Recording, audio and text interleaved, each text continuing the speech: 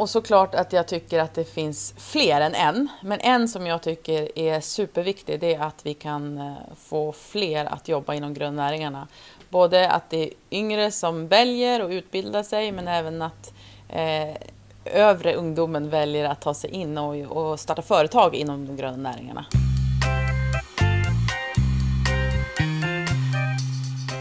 Jag älskar att se när, eh, när unga vågar starta företag. Eh, jag eh, tycker det är jätteviktigt att vi har våra naturbruksgymnasier, att det finns utbildningar för de som vill satsa eh, inom grönnäringen.